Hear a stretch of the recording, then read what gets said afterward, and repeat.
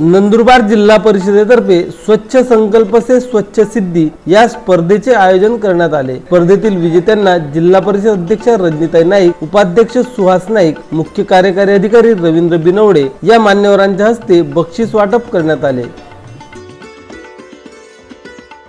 वृत्तपत्र छायाचित्रकार नितीन पाटील यांनी स्वच्छता जनजागृतीसाठी तयार केलेल्या चित्रफितीलाही बक्षीस देण्यात आले.